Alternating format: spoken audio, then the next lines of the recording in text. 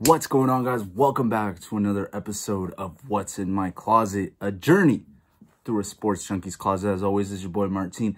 I got a really special jersey coming up today. This week, we're going to travel a little bit south. We're going to go down to Brazil. As you guys may know, I was born in El Salvador, but I was raised in the United States most of my life, meaning that growing up, El Salvador wasn't ever really present in all these like World Cups and tournaments like that. So I had to eventually pick and choose teams. And I always gravitated to two teams, Argentina and the US. Now, the US hasn't always been as successful as Argentina has been, but they've always, always had some pretty cool jerseys. Now, a personal favorite for me is, of course, 2014 World Cup jersey. As you guys can see, we keep the red, white and blue that is so traditional in the US flag. What I really like about this jersey is that it's mostly red. If you look in the back, it's all red. But even in the sleeves, we keep the same colorway. The jersey that the players used in the back, they would have the white numbers, which I thought looked really, really cool. I liked that the logo was even a little bit more blue than traditional. I just really liked how it looked on the players. I like how it fits right here. The sleeves are a little bit tighter. So it makes the impression that you're a little bit buffer than you really are, which I really personally like. As you guys may remember this jersey from Clint Dempsey's 32nd opener against Ghana in the 2014 World Cup. Like I said, it's one of my personal fan favorites.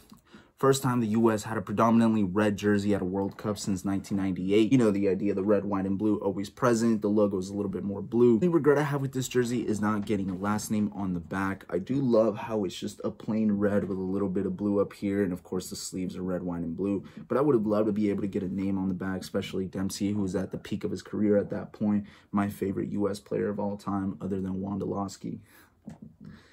Um, but granted, I did get the jersey with like days to spare.